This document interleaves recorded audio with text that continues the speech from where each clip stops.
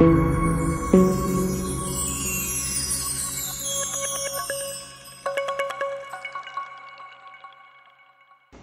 ये डोज हो सकता है थोड़ा सा हैवी लगे आपको बट मेक श्योर जहाँ पे हमें फोकस करना होगा, वो होगा एक पर्टिकुलर एरिया जहाँ पे मेनली जीन्स अपना रोल प्ले करेंगे। तो genes there are like there are so many genes सारे जीन्स को याद नहीं करना है बट यस आप एक बार देख कर रख लेंगे तो ऐसा नहीं होगा कि कभी कुछ पूछा जाए तो आपको ऐसा ना लगे कि आपने कभी सुना ही नहीं है। लेकिन जो जीन्स को आपको एग्जैक्टली exactly, मतलब एक प्रॉपर बेसिस पे याद करना होगा उनका भी नाम मैं मेंशन कर दूँगी और जिसे आप नॉर्मली स्किप करना चाहें उसे आप स्किप कर सकते हैं। तो सबसे पहले अगर हम ड्रॉसोफिला की बात करते हैं तो एक बेसिक अगर हम फर्टिलाइजेशन से शुरू करते हैं तो ड्रॉसोफिला में भी एग एंड स्पर्म देखा जाएगा। And after the meeting of egg and sperm there will be a formation of a zygote zygote से एम्ब्रियो बनेगा एम्ब्रियो से लार्वा लार्वा से एडल्ट बनेगा। यानी ये एक एडल्ट ड्रोसोफिला है ओके इसकी बॉडी में टोटल तीन रीजन पाए जाते हैं। पहला रीजन होता है हेड रीजन ये वाला रीजन हेड रीजन में इसके पास माउथ देखा जाएगा आइज़ एंड एंटीना देखा जाएगा ओके नेक्स्ट होता है थोरासिक सेगमेंट थोरासिक सेगमेंट ये वाला पोर्शन होता है, जहाँ पे तीन थोरासिक सेगमेंट होते हैं T one T two T three तीनों सेगमेंट में one pair of leg common रहता है। लेकिन टी टू सेगमेंट में वन पेयर ऑफ़ लेग के साथ वन पेयर ऑफ़ विंग्स होता है एंड टी थ्री सेगमेंट में वन पेयर ऑफ़ लेग के साथ वन पेयर ऑफ़ हॉल्टियर होता है। तो ये डिफरेंस को आप याद रखिएगा। And the third segment will be the abdomen segment जो कि जहाँ पे मेनली आपको एब्डोमेन देखने को मिल रहा है। तो ये तीनों सेगमेंट अगर याद रहे तो आप बहुत अच्छे से समझ सकते हो कि सारी की सारी कहानी चलेगी कैसे। तो यहाँ पे आ जाती हैं जीन्स का रोल ठीक है? कि अगर हम शुरू करें जहाँ से दैट इज़ जाइगोट का फॉर्मेशन हुआ है, वहाँ से लेकर कंप्लीट ड्रोसोफिला के डेवलपमेंट तक तो ये सारी की सारी जीन्स यहाँ पर काम करती हैं। ये आप देख सकते हैं total five classes of genes हैं। एक का नाम है maternal genes then gap genes हो गई after that pair rule genes segment polarity genes and homeotic selectors gene ये हो गई पाँच टाइप की जीन्स लेकिन इन जीन्स को एक्चुअल में हम ऐसे डिवाइड नहीं करते हैं। ये कुछ इस तरीके से डिवाइड होते हैं टोटल तीन क्लासेस में। यानी मैटरनल जीन्स अलग से रहेंगी। जाइगोटिक जीन्स मैटरनल जीन्स का मतलब क्या होता है? ये बिफोर फर्टिलाइजेशन बिफोर फर्टिलाइजेशन भी ये एक्सप्रेस हो जाती हैं। लेकिन मेनली एमआरएनए फॉर्म में रहती हैं। प्रोटीन फॉर्म में चेंज नहीं होती हैं। जाइगोटिक जीन्स तब तक नहीं एक्टिवेट होंगी जब तक जाइगोट नहीं बनता है। जबकि मैटरनल जीन्स पहले से ही एक्सप्रेस होकर प्रेजेंट रहती हैं। तो जाइगोटिक जीन्स में तीन टाइप पाए जाते हैं that is gap genes pair rule genes and segment polarity genes and the third category is the homeotic selector genes इन्हीं को हमने यहाँ पे इस तरीके से प्रेजेंट किया है। अगर एक बार नाम की हम बात करते हैं, पहले मैं नाम आपको एक एक करके प्रेंशिएट करके दिखा देती हूँ। And after that we will switch to the functioning of these genes maternal genes की बात करें तो यहाँ पे आपको bicoid hunchback nano, caudal, torso, toll, oskar, ये कुछ जीन्स के नाम है। इतना ही नहीं है मैटरनल जीन्स, और भी बहुत सारे मैटरनल जीन्स हैं। ये कुछ यहाँ पे मेजर तौर से देखा जाएगा। गैप जीन्स की बात करें तो Kruppel, knirps, giant hunchback tailless हंच beans button head empty spiracles, and orthodenticles. ये हो गई गैप जीन्स। पेरू जीन्स में चली आती है hairy, even, skip, runt, fushi, tarazu, और skip, sloppy, paired paired segment polarity genes is like wingless, cubitus interruptus patched ingrailed hedgehog, armadillo, gooseberry, fused, pangolin. Homeotic selected genes में आ जाता है labial antennapedia sex combs reduced deformed proboscipedia ultrabithorax abdominal A and abdominal B तो ये इतनी jeans हो गई जो कि आपको एक्चुअल में मतलब पढ़ना होता है, लेकिन इसका डिटेल आप तब पढ़ते हो जब आप सीएसआर का प्रिपरेशन करो अदरवाइज़ आपको इतना डिटेल में नहीं जाना है। बट यस एक एक बार अगर आप इसको देख के भी रख लो तो कभी अगर क्वेश्चन आए तो आपको ये नहीं लगेगा कि हाँ पूछ क्या दिया है। ओके मैं आपको बताती हूँ कि ये जीन्स काम कहाँ कहाँ करती हैं। एज वेल एज मैं आपको ये भी बता देती हूँ कि किसको याद रखना है। मैटरनल जीन्स के केस में आप bicoid and hunchback sorry bicoid and nanos को अच्छे से याद रख सकते हैं। Okay let me remove the unwanted portions तो आपको मैटरनल जीन के केस में बाइकॉइड और हंच बैक की जो नाम है, उसको अच्छे से याद रखना है बिकॉज़ इन दोनों का फ़ंक्शन मेजर ढंग से जो है, हम देखेंगे कि ये लोग काम क्या क्या करते हैं। नेक्स्ट आते हैं गैप जीन्स के मामले में। गैप जीन्स में आपको याद रखना है Kruppel knirps giant hunchback okay pair rule genes के मामले में आप जो है even skipped and fushi tarazu याद रख सकते हैं। सेगमेंट पुलाटी जीन्स के मामले में विंगलेस हो सकता है पैच इनग्रेल्ड हेजहॉग आर्माडिलो ठीक है? एंड होम्योटिक सेलेक्टेड जीन्स के केस में that is your antennapedia pedia ultrabithorax abdominal A abdominal B तो ये जो मैंने आपको यहाँ पे सर्कल में जिस जीन्स को किया है, वो जीन्स आपको याद रखने थोड़े ज़रूरी हो जाते हैं बिकॉज़ इन सब, इस, इन्हीं सब पे जो है एग्जामिनर्स फोकस ज़्यादा करते हैं बिकॉज़ बाकी सारी जीन्स के बारे में जो है, आपको इन्फॉर्मेशन वैसे भी ज़्यादा नहीं मिलेगी। बहुत ज़्यादा कम कम इन्फॉर्मेशन आपको हर जगह मिलने वाली है। तो अगर हम बात करिए काम कैसे करते हैं तो देखिए ज़रा सा, मैं यहाँ पे समझाने की कोशिश करती हूँ। मैटरनल जो जीन्स होते हैं, उनका मेनली काम क्या होता है कि एंटीरियर पोस्टीरियर एक्सेस बनाना, यानी कहाँ से माउथ बनेगा, कहाँ से टेल बनेगा, ये बताना। मेनली मैटरनल जीन्स उसी में इन्वॉल्व होती हैं। कौन सा एरिया डॉर्सल बनेगा, कौन सा एरिया वेंट्रल बनेगा, यही सारा काम को कंट्रोल करने में मैटरनल जीन्स काम करती हैं। गैप जीन्स क्या करती हैं? गैप जीन्स इनिशियल टाइम में देखिए बॉडी का सेगमेंटेशन बनाती हैं। यानी ये देखिए स्टार्टिंग में ही बॉडी क्योंकि ड्रोसोफिला की बॉडी सेगमेंटेड फॉर्म में डिवाइडेड है। तो इस जो स्टार्टिंग का सेगमेंट्स होता है, वो गैप जीन्स बनाती हैं, अपने अपने एक्सप्रेशन के थ्रू थर्ड आती हैं पेयरूल जीन्स पेयरूल जीन्स क्या करती हैं? ये जो रफली सेगमेंट्स डिवाइड हो रखा है ना, इनको 14 पैरा सेगमेंट्स में डिवाइड कर देती हैं। टोटल यहाँ पे आपको 14 पैरा सेगमेंट्स देखने को मिलेंगे। उन 14 पैरा सेगमेंट्स को एक्चुअल में एक्सेस देने का काम करता है, यानी पोलारिटी देने का काम करती है सेगमेंट पोलाइटी जीन यानी अगर मैं एक पैरा सेगमेंट को ऐसे बनाऊँ यानी अगर मैं ये ब्लू वाले को इधर पे जूम करके दिखाऊँ तो ये कुछ ऐसा दिखेगा आपको राइट तो ये जो यहाँ पे बना है this is a para segment तो इसका अपना भी तो एंटीरियर एंड पोस्टीरियर होगा। तो एक एक पैरा सेगमेंट ऑब्लिक सेगमेंट्स का इंटीरियर पोस्टीरियर डिसाइड करने का काम करती हैं सेगमेंट पोलैरिटी जीन्स लास्ट आता है क्या? कि ये सारे के सारे पैरा सेगमेंट्स को वेरी ऑब्वियस एक आइडेंटिटी मिलेगी। जैसे यहाँ सेगमेंट पोलैरिटी जीन ने हर एक को अपना अपना डायरेक्शन दे दिया, पोलैरिटी दे दिया। इसके बाद जो होम्योटिक सेलेक्टर जीन आती हैं, वो क्या करती हैं? वो हर एक पैरासेगमेंट को आइडेंटिटी देती हैं। यानी कौन सा एरिया माउथ में बदल सकता है? यानी उस स्टेज तक जहाँ पे होम्योटिक सेलेक्टर जीन्स का एक्टिवेशन हो जाता है, उस स्टेज तक जो ड्रोसोफिला है, उसकी बॉडी में आपको विंग्स देखने को मिलेगा माउथ एब्डोमेन हॉल्टेयर सब कुछ बना हुआ देखने देखने को मिलेगा। तो ये किसकी वजह से होता है? दैट इज़ होम्योटिक सेलेक्टर या होम्योटिक जीन्स की वजह से होता है। तो ये एक रफ बेसिस पे आपने देखा कि ये काम कैसे करती हैं ओके अब हम बात करते हैं एंटीरियर पोस्टीरियर एक्सेस का फॉर्मेशन कैसे होता है। तो सबसे पहले एक बेसिक जानना ज़रूरी होता है। सपोज़ कीजिए this is a Drosophila okay लेकिन ड्रोसोफिला स्टार्टिंग से ही तो ऐसे होता नहीं है। फर्टिलाइजेशन हुआ और मान लीजिए this is a Drosophila's body तो ये बनेगा एंटीरियर ये बनेगा पोस्टीरियर यानी एंटीरियर वाला एरिया अक्सर जो है माउथ माउथ में या हेड में फॉर्म होता है। माउथ आप कह सकते हो या फिर हेड कह सकते हो, ठीक है? एंड पोस्टीरियर वाला एरिया टेल में फॉर्म होता है। तो देखा ये जाता है एक्चुअल में जो ऊ साइट है। ऊ साइट का भी दो एरिया होता है। ऊ साइट का दैट इज़ योर पोस्टीरियर होता है एंड एंटीरियर होता है। तो अगर हम बात करें बिफोर फर्टिलाइजेशन की, जब तक फर्टिलाइजेशन हुआ है तब की बात करें तो ऊ साइड के पोस्टीरियर एरिया में nanos mRNA nanos mRNA store होता है, ठीक है? और एंटीरियर एरिया में बाइकॉइड एमआरएनए स्टोर होता है।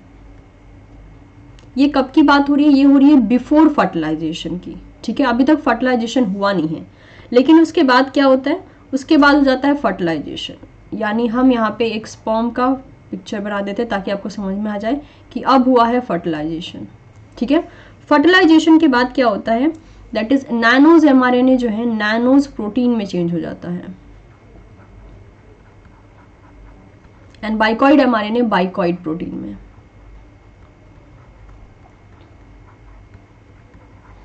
अब एरिया भी आप देख सकते हैं एंटीरियर एरिया में बाइकॉइड प्रोटीन है एंड पोस्टीरियर एरिया में नैनोज प्रोटीन है। अब अगर इसको बनाना चाहें तो ये कुछ इस तरीके से आपको देखने में नज़र आएँगे। ये रहा ओवरऑल ड्रोसोफिला का बॉडी एक मेजर तरीके से इसलिए बनानी ताकि आप अच्छे से समझ पाएँ सारी बातों को। तो ये रही ड्रोसोफिला की बॉडी ये रहा एंटीरियर एरिया ये रहा पोस्टीरियर एरिया अगर मैं यहाँ पे कहूँ कि बाइकॉइड का कंसंट्रेशन कैसे बना हुआ है तो ये कुछ ऐसे बना हुआ है।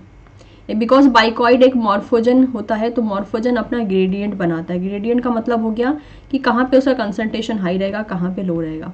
तो ये इसने बना दिया बाइकॉइड का concentration this is a bicoid concentration तो अगर आप यहाँ पे देखते हैं तो वेरी ऑब्वियस इस एरिया में बाइकॉइड बहुत ज़्यादा हाई है। बी सी डी लिख देते हैं, बहुत ज़्यादा हाई है। तो ये वाला एरिया क्या करता है? ये वाला एरिया हेड में कन्वर्ट हो जाता है। यानी एंटीरियर एरिया में हेड बनेगा वेरी ऑब्वियस और जहाँ पे बाइकॉइड का कंसंट्रेशन बहुत ज़्यादा होता है, वो वाला एरिया क्या हो जाता है? हेड में कन्वर्ट हो जाता है। ठीक है? सिमिलरली जहाँ पे कंसंट्रेशन मॉडरेट रहता है, जैसे यहाँ पे कंसंट्रेशन क्या है? दैट इज़ बाइकॉइड का concentration B C D moderate amount में रहता है। ये वाला एरिया बन जाता है थॉरिक्स ओके और अगर हम बात करते हैं नैनोज की तो नैनोज का कंसंट्रेशन कुछ यहाँ पे देखा जाता है, जो पोस्टीरियर एरिया है। और ये वाले एरिया में दैट इज़ हाई नैनोज होता है हाई नैनोज तो वो बन जाता है दैट इज़ एब्डोमेन ओके तो देखने को ये मिलता है, ये तो हो गई बात किसकी? That is the nanos and bicoid की। लेकिन क्या सिर्फ़ इतने ही जीन हैं? कोई और जीन नहीं है, बिल्कुल और भी बहुत से जीन हैं। जैसे कि अगर हम बात करते हैं बिफोर फर्टिलाइजेशन की तो यू कैन सी हियर कि एमआरएनए की अगर हम बात करते हैं तो बाइकॉइड एमआरएनए फर्टिलाइजेशन से पहले एंटीरियर एरिया में आकर स्टोर हो चुका है नैनोज पोस्टियर एरिया में आकर स्टोर हो चुका है। लेकिन साथ ही साथ हंचबैक एंड कॉर्डल नाम के भी जीन्स होते हैं, जो कि मैटरनल जीन्स कहलाते हैं। इनका expression throughout the site एकदम यूनिफॉर्म रहता है। आप देख सकते हैं एकदम यूनिफॉर्म लेकिन आफ्टर फर्टिलाइजेशन क्या होता है? आफ्टर फर्टिलाइजेशन ये सारे के सारे एमआरएनए प्रोटीन में बदल जाते हैं। प्रोटीन में बदलने के बाद बाइकॉइड का कंसंट्रेशन हाईएस्ट रहता है कहाँ पे? एंटीरियर में लोएस्ट रहता है पोस्टीरियर में। सिमिलरली नैनो का कंसंट्रेशन हाईएस्ट रहता है पोस्टीरियर में लोएस्ट रहता है एंटीरियर में। लेकिन जो हंच बैग था जिसका कंसंट्रेशन यूनिफॉर्म था जब वो एमआरएनए फॉर्म में था। अब उसका कंसंट्रेशन कहाँ ज़्यादा हो जाता है? दैट इज़ एंटीरियर एरिया में ज़्यादा हो जाता है। पोस्टियर एरिया में वो नहीं रहता है। जबकि कॉडल की हम बात करते हैं तो कॉडल का कंसंट्रेशन पोस्टियर एरिया में ज़्यादा हो जाता है एंटीरियर एरिया में कम हो जाता है। और ऐसा क्यों होता है? बिकॉज़ यहाँ जो बाइकॉइड है ओके बीसीडी जो है बीसीडी का दो काम होता है। पहला हंच बैग जो होता है एच बी हंच बैग का एक्टिवेशन करवाता है। इसलिए हंच बैग एंटीरियर एरिया में ज़्यादा देखा जा रहा है बिकॉज़ बाइकॉइड भी वहाँ पे ज़्यादा है। और बाइकॉइड साथ साथ में क्या करता है कॉर्डल के एक्सप्रेशन को एंटीरियर एरिया में रोक देता है। ठीक है? सिमिलरली अगर हम बात करते हैं दैट इज़ योर नैनोज की तो नैनो जब पोस्टियर एरिया में एक्सप्रेस होता है तो वो क्या करता है, उस एरिया में हंच बैक के एक्सप्रेशन को रोक देता है। एंड हेंस हंच बैक का कंसंट्रेशन आपको एंटीरियर एरिया में देख रहे क्योंकि ये क्या है? ये है एंटीरियर एरिया में एक्सप्रेशन और ये है पोस्टीरियर एरिया में एक्सप्रेशन इसलिए हंचबैक जो है वहाँ पे काम नहीं कर पाता है। दैट इज़ पोस्टियर एरिया में काम नहीं कर पाता और देख सकते हैं आप हंचबैक का कंसंट्रेशन पोस्टियर एरिया में बिल्कुल भी नहीं पाया जा रहा है और कॉडल का भी कंसंट्रेशन एंटीरियर एरिया में नहीं पाया जा रहा है। उसके पीछे का रीज़न अभी आपको बता दिया। और हंच बैग का प्रोटीन में कन्वर्जन कैसे होता है? क्योंकि बाइकॉइड उसको रेगुलेट कर रहा होता है। ये तो कहानी हो गई किसकी? That is before and after fertilization before fertilization mRNA form and after fertilization protein का फॉर्म तो ये हो गया मतलब यहाँ पे हमने कुछ जीन देख लिया। जो मेजर रोल प्ले करती हैं जीन उसके लिए हम सिर्फ़ बाइकॉइड एंड नानोस को कंसीडर कर सकते हैं। अगर आपको और अच्छे से कंसीडर करना है तो आप जहाँ जहाँ पर बाइकॉइड प्रेजेंट है वहाँ वहाँ पे आप बिल्कुल वैसा ही कंसनट्रेशन हंच बैग का भी कंसिडर कर सकते हैं। लेकिन एक कहते हैं ना प्राइमरी जीन अगर सिर्फ़ दो जीन की बात करें तो कौन दो जीन काम कर रहे हैं? That is your bicoid and nanos इसके अलावा एक और जीन्स आती हैं। Okay okay. एक और जीन्स आती हैं जिसे हम बोलते हैं क्या? वो टर्मिनल एरिया में खुद को एक्सप्रेस करती हैं।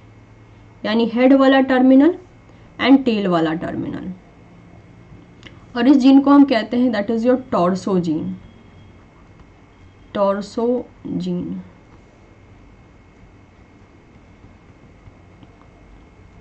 torso का काम क्या होता है? अगर हम बात करें यहाँ पे केस की टॉर्सो का काम क्या है? टॉर्सो का काम होता है दैट इज़ योर टेल बनाना, जिसे हम टेल्सन कहते हैं डेवलपमेंटल बायोलॉजी की भाषा में, और या फिर ये दैट इज़ योर फेस बनाना, जिसे हम बोलते हैं एक्रोन ओके okay? लेकिन टॉर्सो की भी एक स्पेसिफिसिटी है कि टॉर्सो जब टॉर्सो जब बाइकॉइड के साथ रहता है ओके टॉर्सो जब बाइकॉइड के साथ रहता है बीसीडी के साथ रहता है, ये केस वन है ये तभी एक्रोन बनाता है। अगर टॉर्सो बाइकॉइड के साथ नहीं है, या अकेला है, या किसी और के साथ है, तब क्या करेगा? तब ये कुछ भी कर लो, ये टेल ही बनाएगा। मतलब फेस बनाने का सिर्फ़ एक ही कंडीशन है that torso need bicoid with it क्योंकि यहाँ पे देखिए बाइकॉइड का एक्सप्रेशन अगर इस वाले एरिया में अगर आप देखते हैं तो बाइकॉइड के साथ साथ टॉर्सो एक्सप्रेस कर रहा है, तभी इस वाले एरिया में क्या बनेगा? ये वाला एरिया आगे चल के फेस में कन्वर्ट हो जाएगा। और ये जो एकदम टर्मिनल वाला एरिया है, ये टेल में कन्वर्ट हो जाएगा। ओके? और इस ढंग से सारी की सारी चीज़ें काम करती हैं तो टॉर्सो का केस आपको अच्छे से याद रखना है। टॉर्सो चाहे नैनोस के साथ रहेगा तो भी टेल बनाएगा नैनोस के साथ नहीं है तो भी टेल बनाएगा। किसी और के साथ है तो भी टेल बनाएगा, लेकिन बीसीडी के साथ है, यानी बाइकॉइड के साथ है, तभी वो एक्रोन बनाएगा अदरवाइज़ वो दैट इज़ एक्रोन नहीं बनाएगा अब यहीं से आते हैं कुछ म्यूटेशन केसेस जहाँ से C S I R question sorry GATE question पूछता है ओके okay? पहला म्यूटेशन केस है, अगर बीसीडी म्यूटेंट है बीसीडी म्यूटेंट यानी बाइकॉइड प्रेजेंट नहीं है। और हमको पता है बाइकॉइड कहाँ रहता है? एंटीरियर एरिया में रहता है। तो हम क्या कहेंगे? हम कहेंगे नो हेड ठीक है? नो हेड यानी सीधी सी बात है, अगर बाइकॉइड नहीं है तो वेरी ऑब्वियस क्या होगा? यहाँ पे यहाँ पे दैट इज़ योर टेल बनेगा। इधर पे भी टेल बनेगा। और यहाँ पे क्या बनेगा? बीच में एब्डोमेन बन जाएगा।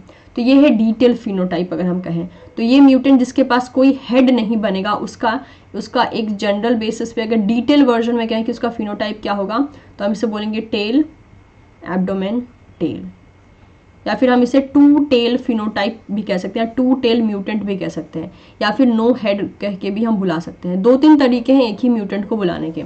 सेकेंड आता है, अगर नैनोज का म्यूटेशन हो गया नैनोज म्यूटेंट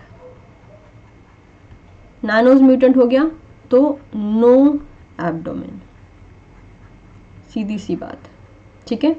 थर्ड अगर यहाँ पे टॉर्सो का म्यूटेशन हो गया तो?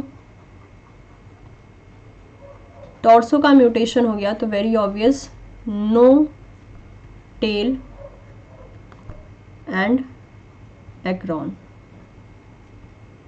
right fourth mutation अगर हमने वाइल्ड टाइप ड्रोसोफिला के अंदर मिडिल में बाइकॉइड ऐड कर दिया, तब क्या होगा? तो वेरी ऑब्वियस इस पर्टिकुलर म्यूटेंट को हम कहते हैं हेड इन द मिडल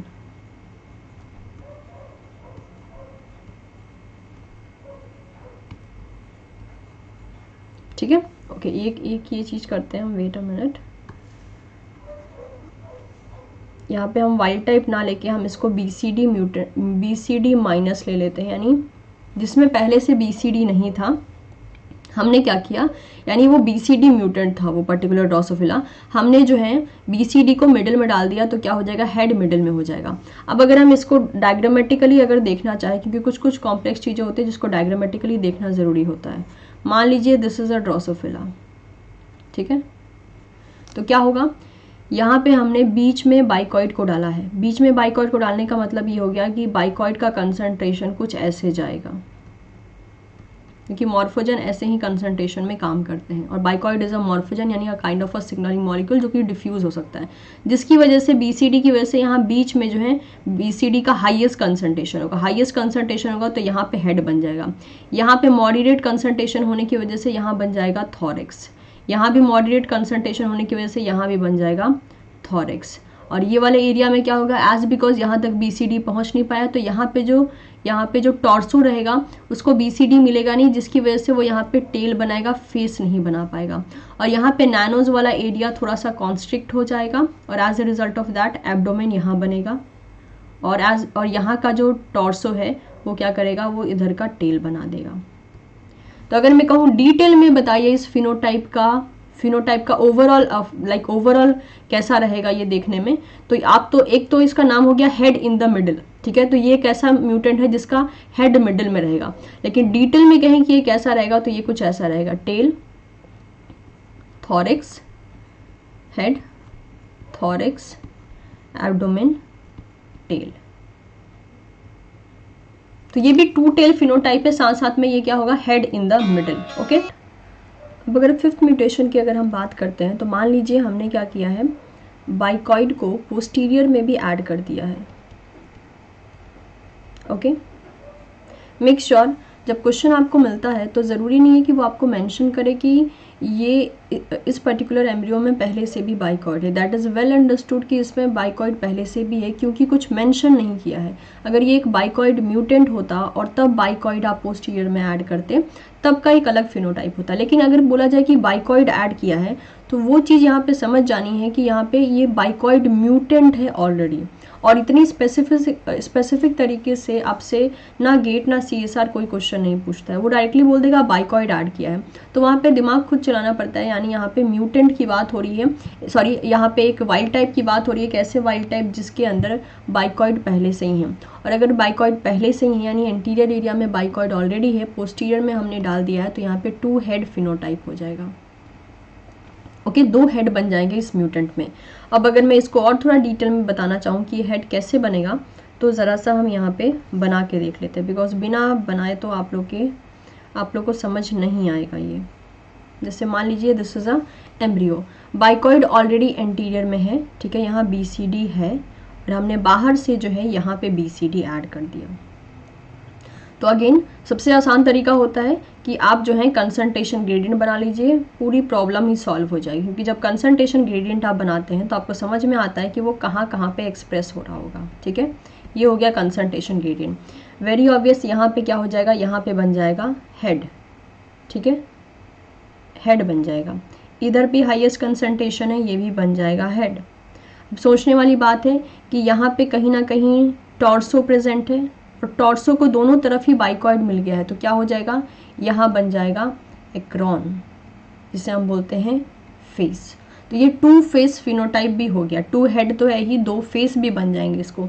तो ज़रूरी नहीं है कि हमेशा आपसे टू हेड फिनोटाइप करके ही क्वेश्चन पूछा जाए। टू फेस फिनोटाइप भी बोला जा सकता है। लेकिन बात तो एक ही होगी कि जब अगर हेड पे ही तो फेस एरिया भी होता है राइट अब यहाँ पे देखिए यहाँ पे मॉडरेट कंसनट्रेशन होगा बीसीडी का और आपको पता है मॉडरेट कंसनट्रेशन थॉरेक्स बनाता है राइट तो यहाँ बन जाएगा थॉरेक्स और ये बीसीडी होने के कारण क्या होता है कि नैनोज का कंसनट्रेशन कहीं मिडल में शिफ्ट हो जाता है इसलिए एब्डोमेन चला आता है मिडल में. तो ये अगर मैं डिटेल में कह, कहना चाहूँ कि ये फिनोटाइप कैसा होगा तो ये कुछ ऐसा होगा. Acron head thorax abdomen thorax head acron ये है डिटेल म्यूटेंट का फिनोटाइप यानी डिटेल बेसिस पे अगर हम बात करें, तब ये फिनोटाइप हो गया। तो ये सब के सब डिटेल है। लेकिन अगर शॉर्टकट में पूछेगा तो ऐसा पूछेगा लॉन्ग कट में पूछेगा, बहुत डिटेल में बोला जाए तो ऐसे बोलेगा। आपको दोनों पता होना चाहिए। क्योंकि अगर आप म्यूटेशन पढ़ रहे हो और कुछ नहीं पता है और गलती से भी डिटेल बेसिस पे पूछ दिया तो आप वहाँ पर फंस जाओगे। यहाँ पे सिक्स म्यूटेशन केस आता है कि मान लीजिए बीसीडी म्यूटेंट है। ठीक है? और तब आपने बी को पोस्टीरियर में डाला है। तब क्या होगा? तब यहाँ पे हेड जो है पोस्टीरियर एरिया में बनेगा। हेड इन पोस्टीरियर ठीक है? इस ढंग से ये हमने सिक्स म्यूटेशन केस देख लिया। आई होप ये म्यूटेशन केस आपको क्लियर हो गया होगा। Okay okay. यहाँ पे मैंने गिलबर्ट के ट्वेल्थ एडिशन से भी आपको सारी चीज़ें समझाने की कोशिश की है, आप देख सकते हैं। इसको समझने में आई थिंक और अच्छे से अब आपको आसानी हो जाएगी बिकॉज़ मैंने आपको बना के भी बता दिया कि ये म्यूटेंट कैसे कैसे काम करते हैं। ओके नेक्स्ट हम बात करते हैं, ये तो हो गया एंटीरियर पोस्टीरियर एक्सेस की। एंटीरियर एक्सेस किसकी वजह से बनता है? अगर हम समअप करना चाहें यहाँ पे कि एंटीरियर एक्सेस किसकी वजह से बनता है तो एंटीरियर एक्सेस को बनाने में जो प्राइमरी रोल निभाता है दैट इज़ अ बाइकॉइड ठीक है?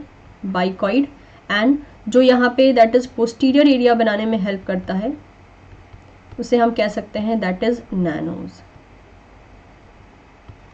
fine bicoid की अगर हम बात करें तो इसका अगर हाईएस्ट कंसंट्रेशन है हाई कंसंट्रेशन है तो ये बनाएगा हेड मॉडरेट कंसंट्रेशन है तो ये बनाएगा थॉरिक्स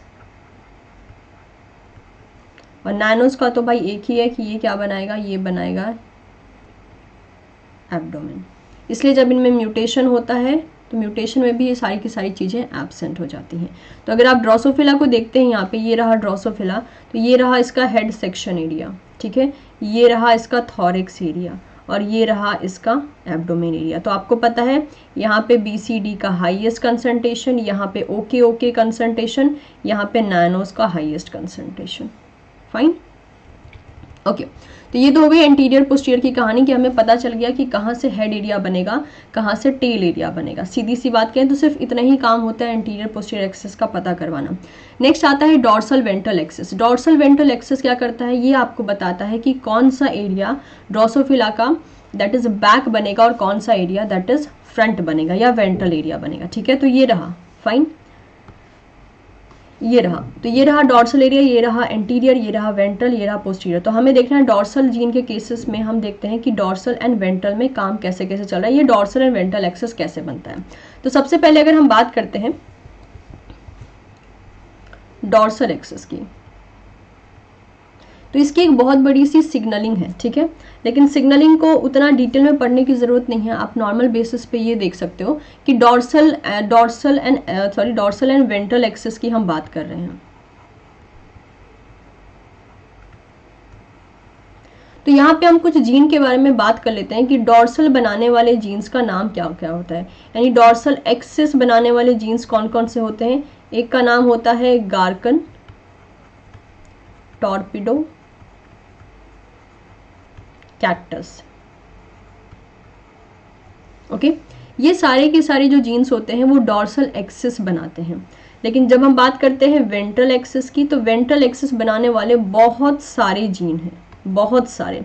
जिनमें से एक मेजर जीन होता है, जिसका खुद का नाम होता है डॉर्सल वो डॉर्सल खुद एक जीन है, जो कि बाद में प्रोटीन में कन्वर्ट होता है, और वो वेंट्रल एक्सिस बनाता है।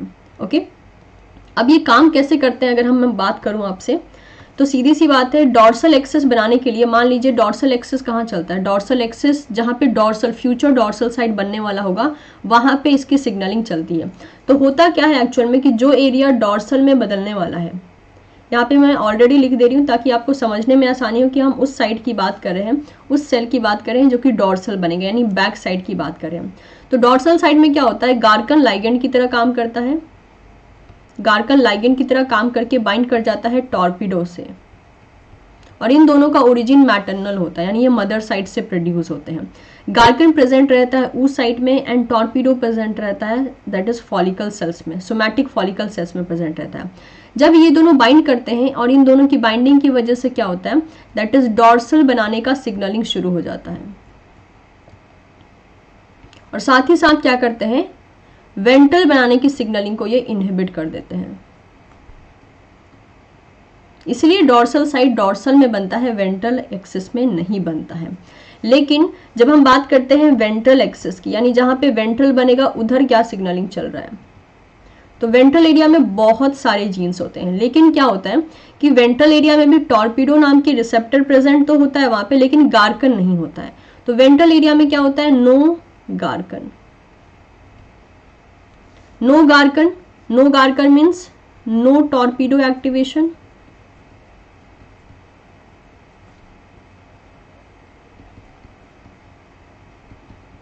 no torpedo activation का मतलब क्या हुआ? जब यहाँ पे टॉर्पीडो का एक्टिवेशन नहीं है मतलब डॉर्सल बनाने वाले जीन और पाथवे को यहाँ पे इनहिबिट कर दिया गया है। Right right? क्योंकि हम बात ही कर रहे हैं वेंट्रल एरिया की और साथ ही साथ क्या किया गया है? इसकी वजह से, क्योंकि टॉर्पीडो एक्टिवेट नहीं हुआ है, जिसकी वजह से वेंट्रल एक्सेस बनाने वाले जीन्स एक्टिवेट हो जाते हैं। क्योंकि अगर टॉर्पीडो एक्टिव रहेगा तो उसका फेट होता है कि वो डॉर्सल बनाएगा। तो जब वो एक्टिवेट ही नहीं हुआ है, यानी गार्किन और टॉर्पीडो का जब कोई एक्टिवेशन ही नहीं है तो क्या होगा? वेंट्रल एक्सेस बनेगा। अब ये वेंट्रल एक्सेस बनने पे क्या होता है? एक्चुअल में ये देखा जाता है, ये जो मैंने कैक्टस की आपकी बात की, ये कैक्टस क्या करता है? साइटोसॉलिक एरिया में साइटोसॉल में क्या करता है? कैक्टस ये डॉर्सल को पकड़ के रखता है। ठीक है? और ये थ्रू आउट द एग देखा जाता है। और मैं बात करी फर्टिलाइजेशन की बात की, क्योंकि हम एम्ब्रियो का डॉर्सल वेंट्रल एक्सेस की बात कर रहे हैं। तो डॉर्सल को साइटोसॉलिक एरिया में कैक्टस इसको पकड़ के रखता है। तो कैक्टस का क्या ज़रूरी है कि कैक्टस को कोई फॉस्फोराइलेट कर देगा ना तो डॉर्सल को वो छोड़ देगा। डॉर्सल को वो छोड़ देगा तो dorsal protein that is nucleus में एंटर करके वेंट्रल बनाने वाले सारे जीन्स का एक्टिवेशन कर देता है। तो यहाँ पे वेंट्रल एरिया में क्या हो रहा है? वेंट्रल एरिया में क्या होता है कि जब वेंट्रल एक्सेस बनता है तो यहाँ पे एक सिग्नलिंग चलती है। उस सिग्नलिंग में बहुत सारे प्रोटीएजेस एक्टिवेट होते हैं। और उसी सिग्नलिंग में काइनेज भी एक्टिवेट होता है। काइनेज का नाम होता है यहाँ पे पहले। ये काइनेज क्या करता है? ये काइनेज कैक्टस को फॉस्फोराइलेट कर देता है। कैक्टस के ऊपर फॉस्फेट को ऐड कर देता है। कैक्टस के ऊपर फॉस्फेट ऐड होने के बाद क्या होता है? कैक्टस का डिग्रेडेशन हो जाता है। कैक्टस का हो गया डिग्रेडेशन इसके बाद क्या हो जाएगा? इसके बाद जो है दैट इज़ डॉर्सल फ्री हो जाता है। डॉर्सल फ्री होके क्या करता है? ये चला जाता है न्यूक्लियस के अंदर। न्यूक्लियस के अंदर ये ऐसे जीन का ट्रांसक्रिप्शन करवाता है, जो कि उस एरिया को वेंट्रल एक्सेस में चेंज कर देगा। Transcription of ventral axis gene. Okay? तो इस ढंग से चलता है और इस तरीके से एक ड्रोसोफिला का दैट इज़ डॉर्सल एरिया यानी अगर हम ये कहें this is a mouth sorry this is a head area this is a tail area यानी this is a anterior area this is a posterior area this is a dorsal this is a ventral ये कल को back बनेगा। तो इस back वाले area को बनाने के लिए ये सिग्नलिंग चलती है और ये बेली वाले एरिया को बनाने के लिए ये वाली सिग्नलिंग चलती है। तो जो एरिया दैट इज़ फ्यूचर में वेंट्रल बनेगा, वहाँ पे ये काम चल रहा होता है। और यहाँ पे एक्टिवेट कौन हो रखा है? यहाँ पे एक्टिवेट रहता है डॉर्सल डॉर्सल के साथ साथ और भी बहुत से यहाँ पे जीन्स होते हैं जो कि पार्टिसिपेट करते हैं। और इस तरीके से सारा का सारा आपको देखने को मिलता है कि सिग्नलिंग चलती कैसे है। ऑल दो सिग्नलिंग थोड़ी सी कॉम्प्लेक्स है, लेकिन मैंने आपको सिंप्लीफाई सिंप्लीफाइड वर्जन में समझाने की कोशिश की है। वो भी इसलिए क्योंकि अभी तक जो मैंने पेपर देखा है, उसमें इतना डिटेल में नहीं दिया गया है तो आई थिंक वो टॉर्चर हो जाएगा आपके ऊपर। अगर मैं उतने सारे जीन्स को लेकर चलूँगी तो। लेकिन अगर आपने C S R point of view से पढ़ा है तो आई थिंक आपके पास बेसिक थोड़ा बहुत आइडिया होगा। आप उसको काम चला सकते हैं। और जिन्होंने नहीं पढ़ा है, उनके लिए भी कोई दिक्कत नहीं है। इतना काफ़ी होगा बिकॉज़ अभी तक उतने डिटेल बेसिस पे क्वेश्चन नहीं आए हैं। तो there is a no use of you know going in that much of detail बस याद रखना है कि टॉर्पीडो एंड गार्कन का यहाँ पे मैटरनल ओरिजिन होता है। ठीक है? गार्कन ऊ साइट में स्टोर होता है and torpedo somatic follicle cells में होता है। अगर अब हम बात करें कि अगर इनमें म्यूटेशन हो जाए राइट इनमें अगर म्यूटेशन हो जाए तो क्या देखा, तब तब क्या होगा? तो म्यूटेशन केस की अगर हम बात करते हैं, मान लेते हैं पहले म्यूटेशन केस की हम बात करते हैं कि गार्कन जो है, गार्कन म्यूटेट हो गया।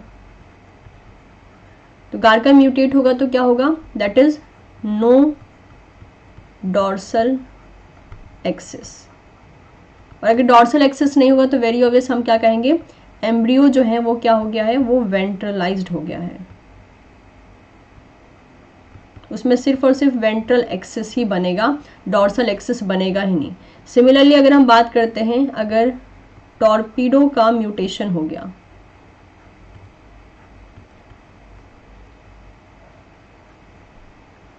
तब क्या होगा? अगेन ऊपर वाला ही कंडीशन नो डॉर्सल एक्सिस सारा का सारा एम्ब्रियो वेंट्रलाइज्ड हो जाएगा। क्योंकि दोनों का ही काम एक ही था। थर्ड बात करते हैं। अगर कैक्टस सॉरी कैक्टस नहीं।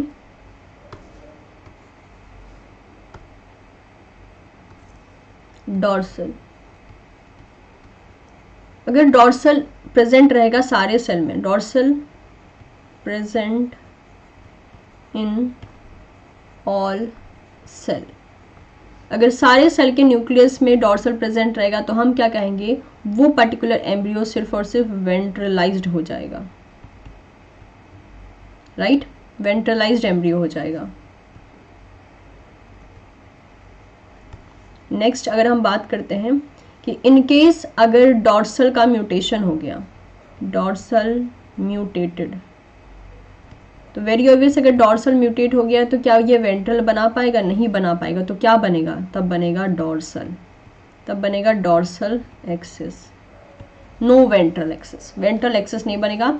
ये एम्ब्रियो क्या हो जाएगा? डॉर्सलाइज्ड हो जाएगा। इसलिए इनके नाम इतने ज़्यादा यूनिक क्यों हैं? बिकॉज़ इन सब का डिस्कवरी इनके म्यूटेशन केस में हुआ है। तो देखिए डॉर्सल का नाम डॉर्सल है, लेकिन अपने वाई टाइप कंडीशन में ये वेंट्रल एक्सेस बनाता है। लेकिन जब म्यूटेट हो जाता है, तब ये डॉर्सल एक्सेस बनाता है। इसलिए इनका डिस्कवरी ही इनके म्यूटेंट कंडीशन में हो रखा है। याद रखिएगा यहाँ से दो इंपॉर्टेंट फैक्ट कि गार्कन गार्कन उस साइट में प्रेजेंट रहता है। एंड जो टॉर्पीडो है, ये सोमैटिक फॉलिकल सेल में।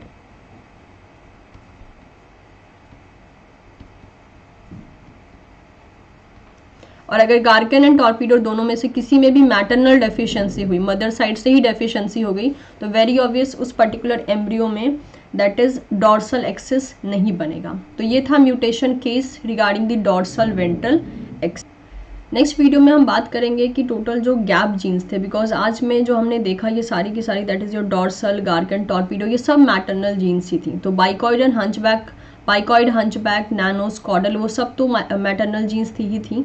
साथ साथ में ये जो जीन्स थी, वो भी मैटरनल जीन्स ही थी। तो आज हमने सिर्फ़ और सिर्फ़ मैटरनल जीन्स का कंसेप्ट क्लियर किया। कल जो है हम जाइगोटिक जीन्स का एक जिस्ट देख लेंगे कि जाइगोटिक जीन्स कैसे काम करती हैं और सेगमेंटेशन कैसे क्रिएट करती हैं। So thank you so much everyone and keep learning तो मेनली हम ये देख चुके हैं कि पोलारिटी कैसे सेट होती है। पोलारिटी का मतलब होता है कि कहाँ से हेड एरिया बनेगा, कहाँ से टेल बनेगा, कहाँ से बैक कहाँ से वेंट्रल पोर्शन बनेगा, इसे हम कहते हैं डीवी एंड एपी एक्सेस ठीक है? ये हम देख चुके हैं। अब बारी आती है क्या कि हमने ये देखा था कि मैटरनल जीन्स एमआरएनए फॉर्म में स्टोर रहती हैं और दैट इज़ जब फर्टिलाइजेशन हो जाता है, तब वो प्रोटीन फॉर्म में चेंज हो जाती हैं। इसके बाद एक्टिवेशन होता है गैप जीन्स का। मेक श्योर गैप जीन्स को मैटरनल जीन्स ही एक्टिवेट करती हैं। कुछ मैटरनल जीन्स होती हैं जो कि गैप जीन का एक्टिवेशन करती हैं। गैप जीन्स का काम क्या होता है? जो इनिशियल सेगमेंटेशन होता है, उसे स्टार्ट करना यहाँ पे।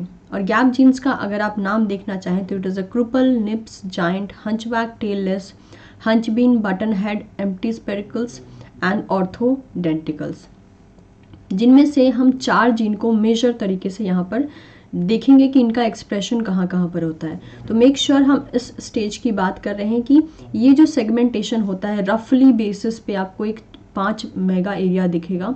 वो सेगमेंटेशन शुरू कैसे होता है?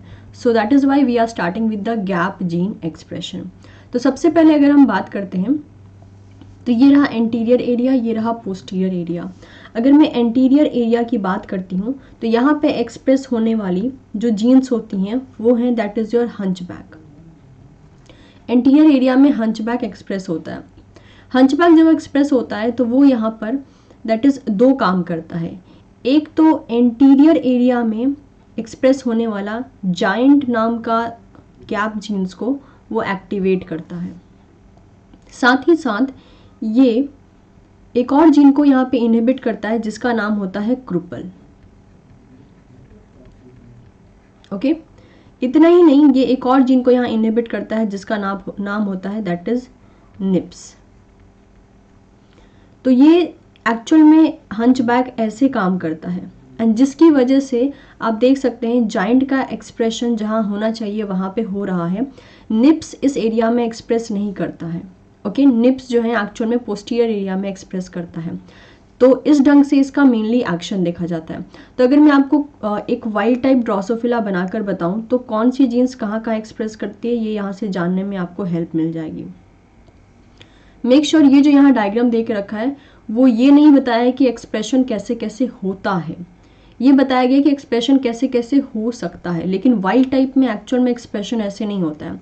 एक्चुअल में एक्सप्रेशन वाइल्ड टाइप में ऐसे होता है कि हंच बैक यहाँ पर एक्सप्रेस किया, इसके बाद जो है यहाँ पे उसने जाइंट को एक्सप्रेस करवाया, बीच में क्रूपल एक्टिवेट होता है आफ्टर दैट निप्स एक्टिवेट होता है, फिर जाइंट एक्टिवेट होता है एंड टेललेस एक्टिवेट होता है। ये है एक्चुअल में एक्सप्रेशन का पैटर्न ये जो यहाँ पे आपको बता के रखा है, वो इस तरीके से बताया है कि जैसे कि टेललेस जीन ये टर्मिनल एरिया में भी एक्सप्रेस हो सकती है और यहाँ इंटीरियर एरिया में भी हो सकती है। लेकिन कुछ ऐसे फैक्टर होते हैं जो उसको इंटीरियर एरिया में एक्सप्रेस नहीं होने देते हैं। जैसे कि निप्स जीन निप्स यहाँ भी एक्सप्रेस हो सकता है, यहाँ भी एक्सप्रेस हो सकता है, लेकिन हो नहीं पाता है। ये सिर्फ़ पोस्टीरियर एरिया में एक्सप्रेस हो पाता है। और ऐसा क्यों है? क्योंकि एंटीरियर एरिया में हंचबैक प्रेजेंट है। हंचबैक को किसने एक्टिवेट किया होता है? बीसीडी ने दैट इज़ बाइकॉइड ने एक्टिवेट किया होता है।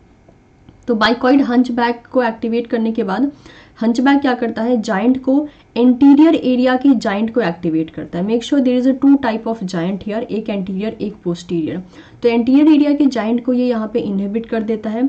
एंटीरियर एरिया में जो क्रुप सॉरी एंटीरियर एरिया में जो जाइंट है, उसको एक्टिवेट कर देता है। क्रूपल जो कि एंटीरियर एरिया में एक्सप्रेस हो रहा है, लेकिन वो पोस्टीरियर वाला जीन है। उसको सॉरी क्रूपल जो यहाँ पे आप देख सकते हैं, ये ब्लू कलर में। ओके फाइन ये मिडिल वाला की हम बात करें दिस इज़ अ क्रूपल क्रूपल को जो है हंचबैक इनहिबिट करता है। निप्स को क्या करता है? निप्स जो कि यहाँ पे पोस्टीरियर एरिया में एक्सप्रेस हो सकता है, उसको ये इनहिबिट करता है ताकि एंटीरियर एरिया में ये एक्सप्रेस ना हो। इतना ही नहीं हंचबैक की एक और कहानी है कि अगर हंचबैक का कंसंट्रेशन बहुत ज़्यादा हाई है तो अपने हाई कंसंट्रेशन में ये क्रूपल को इनहिबिट करता है। Okay okay? लेकिन अगर इसका कंसंट्रेशन अप्रॉक्स आप कह सकते हो 50 परसेंट है या 50 परसेंट से थोड़ा सा कम है तो तब क्या करता है, ये क्रूपल को एक्टिवेट करने का काम करता है। यानी कंसंट्रेशन ज़्यादा रहेगा, तभी ये क्रूपल को इनहिबिट कर सकता है अदरवाइज़ ये एक्टिवेट करता है। तो वही चीज़ यहाँ पे लिखी गई है, देखिए, कि बी एक्टिवेट होता है तो हंचबैक को एक्टिवेट कर देता है।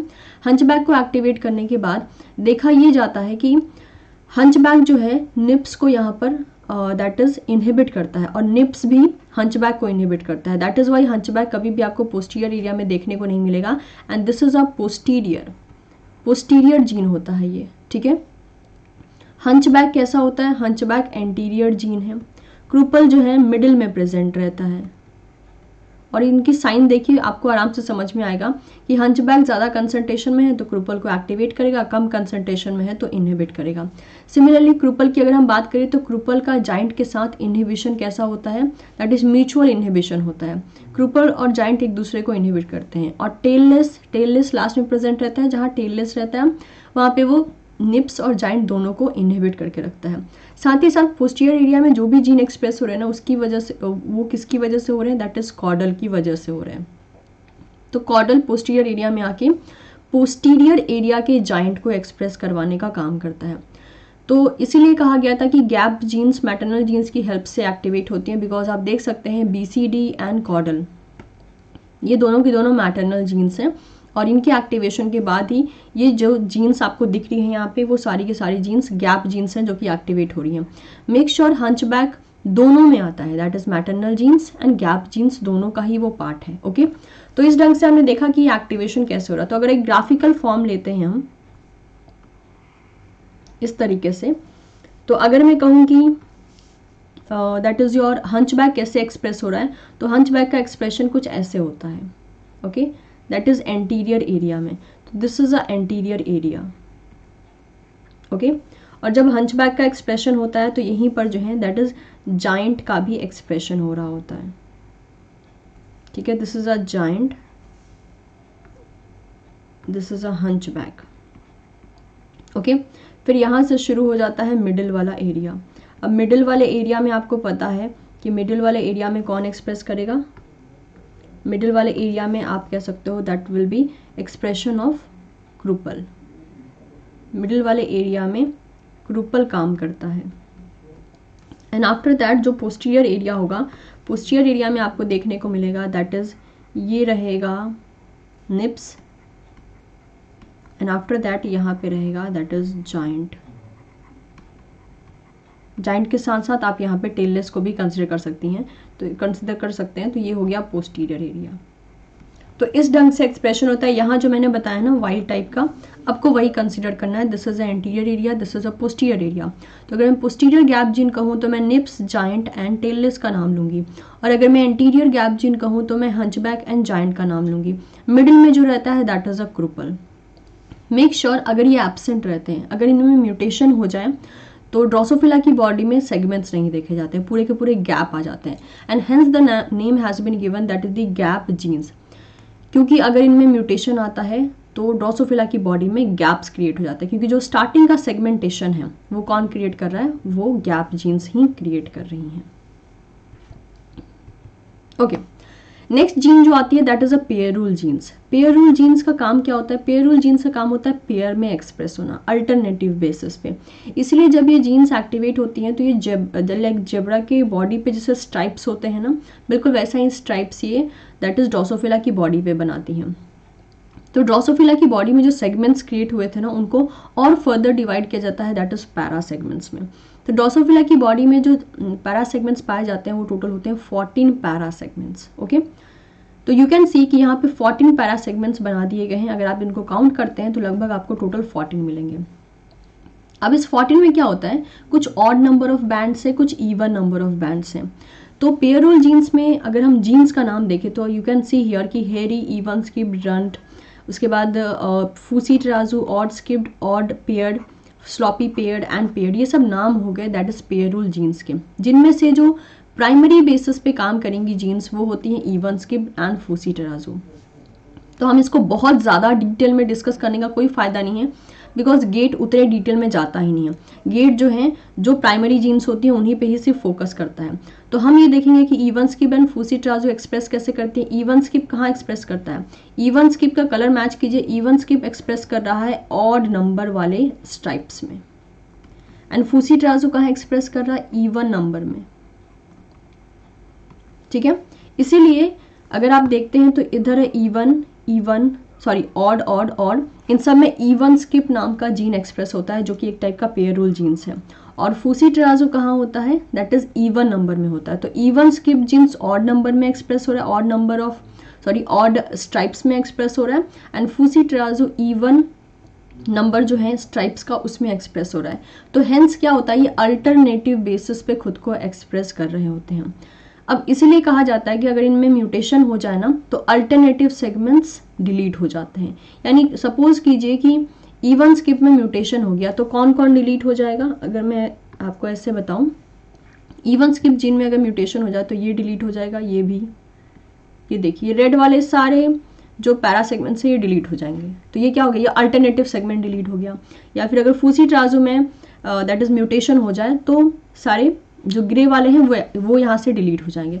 तो इस ढंग से जेबरा स्ट्राइप्स बनता है और म्यूटेशन uh, होने पे अल्टरनेटिव जो सेगमेंट्स होते हैं वो यहाँ से हट जाते हैं।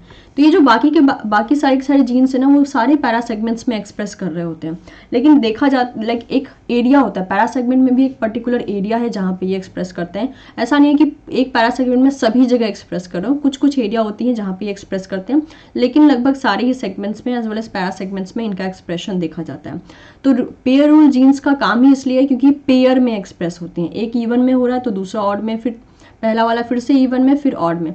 तो पेयर में एक्सप्रेस होने के कारण इनको नाम दिया जाता है pair rule genes okay next is the segment polarity genes segment polarity genes का काम क्या होता है? साफ़ साफ़ तरीके से देखा जाए तो यहाँ से अगर मैं ये कहूँ कि this is a one parasegment right तो अभी ये ये एंटीरियर है, ये पोस्टीरियर है ड्रोसोफिला की बॉडी का।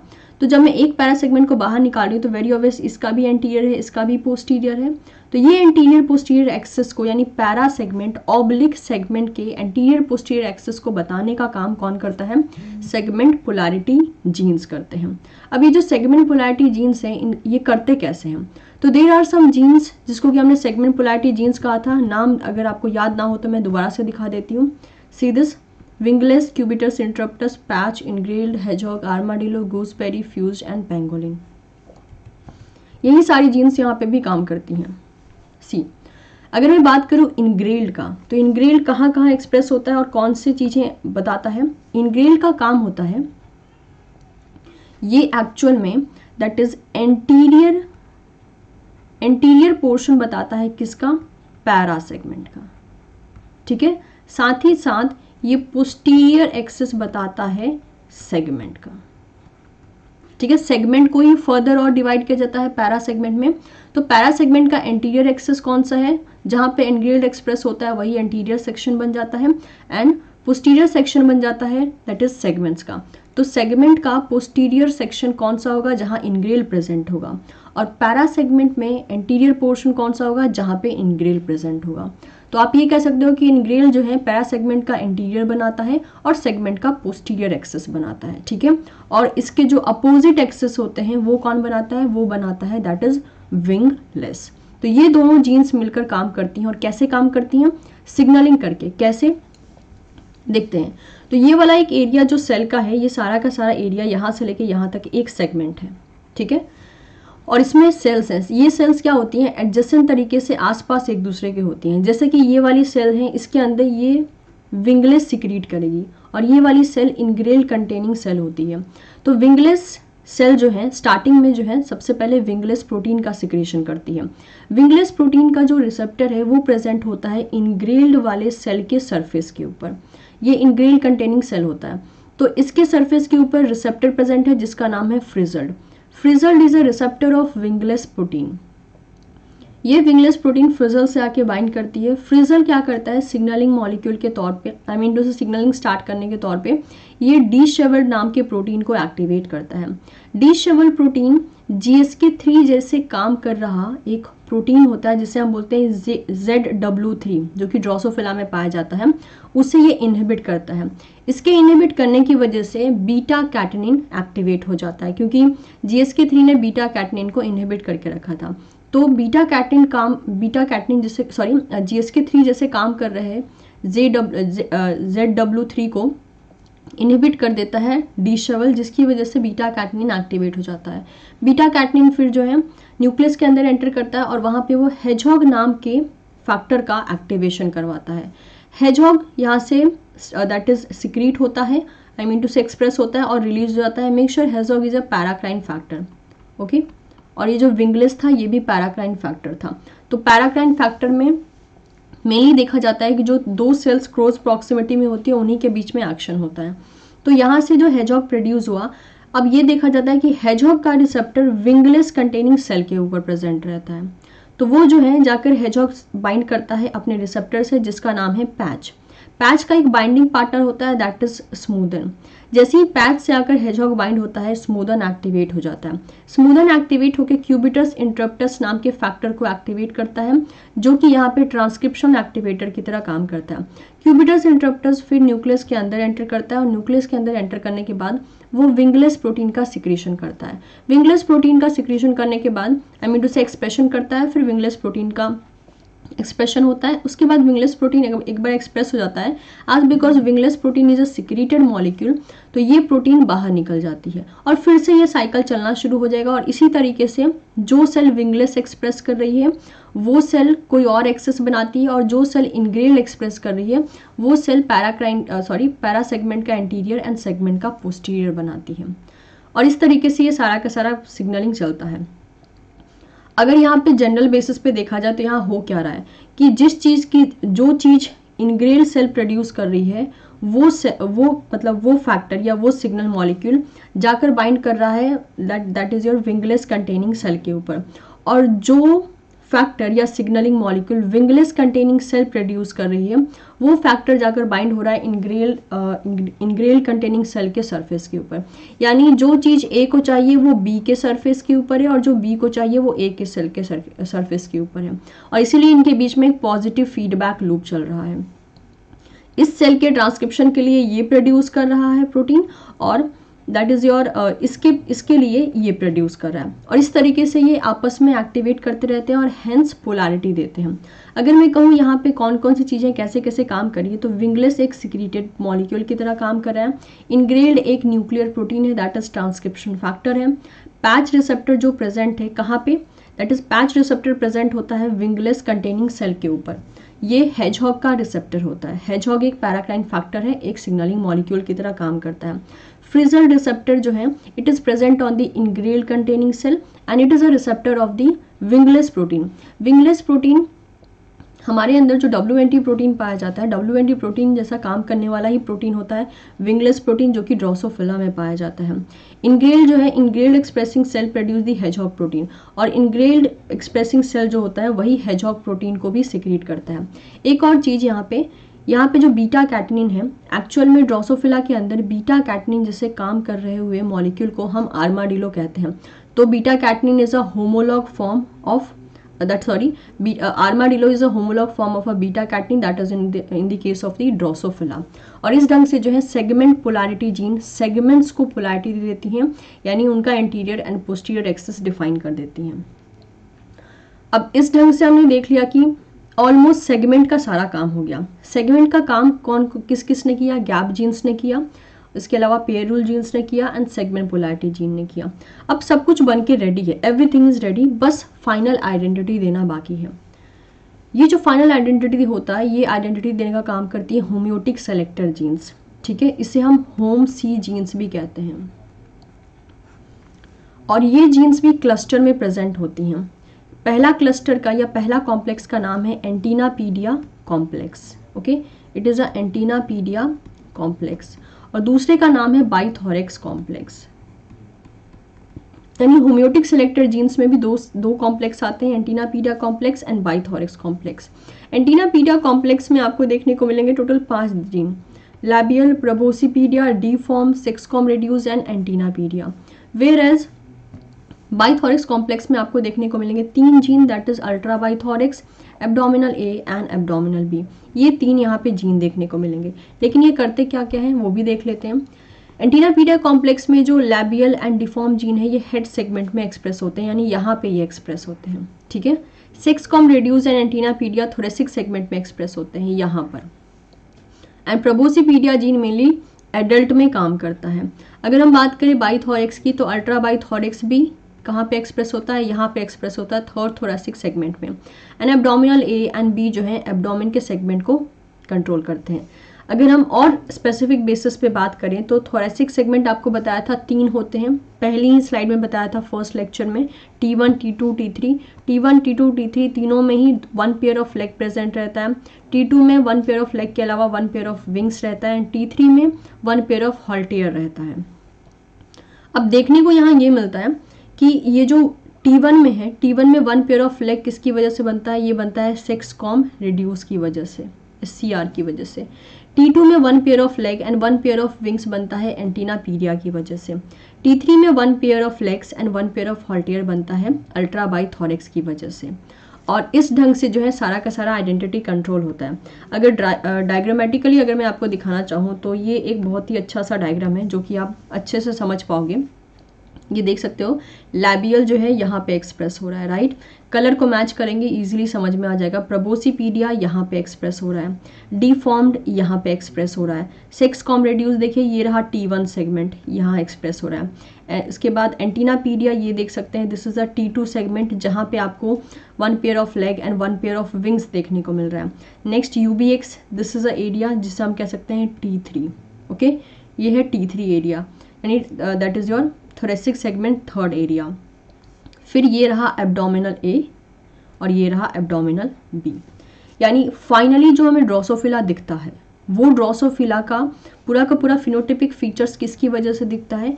ये इन जीन्स की वजह से दिखता है that is homeotic selected genes this is a final identity of a Drosophila तो अभी हमें समझ में आ गया कि कौन कौन से जीन फाइनल आइडेंटिटी कैसे कैसे देती हैं। लेकिन अगर इनमें म्यूटेशन हो जाए, तब क्या होगा? तो म्यूटेशन को स्टडी करने से पहले हमें ये देखना पड़ेगा कि ये सेगमेंट्स डिवाइड कैसे होते हैं। मैंने आपको कहा था कि ड्रोसोफिला की बॉडी में टोटल फोर्टीन पैरा सेगमेंट्स होते हैं। जिनमें से एट पैरा सेगमेंट्स एब्डोमेन बनाते हैं, तीन माउथ बनाते हैं एंड तीन थॉरिक्स बनाते हैं।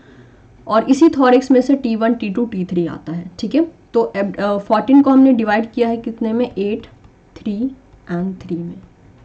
फाइन तो म्यूटेशन केस ज़रा देख लेते हैं कि ये कैसे कैसे काम करते हैं। अगर हम बात करते हैं एंटीनापीडिया की तो नॉर्मल एंटीनापीडिया का काम क्या होता है कि नाम देखिए क्या है? एंटीनापीडिया तो ये एक्चुअल में एक नॉर्मल बेसिस पे कहूँ कि ये बॉडी में काम कैसे करता है। तो एंटीनापीडिया हमें पता है कहाँ एक्सप्रेस होता है? टी टू सेगमेंट पे। जहाँ पे वो दो लेग एंड दो विंग्स को बनाता है। तो ये एक्चुअल में इसका काम क्या होता है कि एंटीना का डेवलपमेंट टी टू सेगमेंट में ना हो और उसकी जगह पर लेग का एक्सप्रेशन हो। ये है इसका वाइल्ड टाइप फ़ंक्शन कि ये जो है नॉर्मल फॉर्म में एंटीना के डेवलपमेंट को टी टू सेगमेंट से नहीं होने देता है, वहाँ पे लेग को डेवलप करवाता है। लेकिन अगर ये म्यूटेट हो गया है जनरल बेसिस पे म्यूटेट हो गया है तो क्या होगा? तब एंटीना पीडिया जाकर हेड एरिया में एक्सप्रेस कर जाता है और लेग्स का डेवलपमेंट हेड से भी होने लगता है। ठीक है? So antennapedia express in the head and leg grow on the head in the place of the antenna. और उस एरिया से जो है हेड का डेवलपमेंट शुरू हो जाता है। नेक्स्ट आता है, अगर ये म्यूटेशन रिसेसिव नेचर का है तो क्या होगा? तो अगर ये म्यूटेशन रिसेसिव नेचर का है तो एंटीना पीडिया का एक्सप्रेशन फेल हो जाता है। Antennapedia T two segment में एक्सप्रेस नहीं कर पाता है एंड टी टू सेगमेंट से लेग्स की जगह पर एंटीना का फॉर्मेशन हो जाता है। यानी अब टी टू सेगमेंट में एंटीना फॉर्म होता हुआ दिखेगा इंस्टेड ऑफ़ लेग अगर ये म्यूटेशन रिसेसिव कंडीशन का है, ये म्यूटेशन एक जनरल बेसिस था, जिसमें एंटीना पीडिया जो है किसी और एरिया में एक्सप्रेस करा था। लेकिन यहाँ पे रिसेसिव म्यूटेशन में antennapedia it fail to express okay तो ये हो गया ये यहाँ पे देख सकते हैं दिस इज़ अ पिक्चर जहाँ पे ड्रोसोफिला के हेड पे जो है दैट इज़ आपको लेग्स का फॉर्मेशन होता हुआ दिख रहा है। अब अब अगर हम बात करें यूबीएक्स की दैट इज़ अल्ट्रा बाइथोरिक्स की, तब क्या होता है?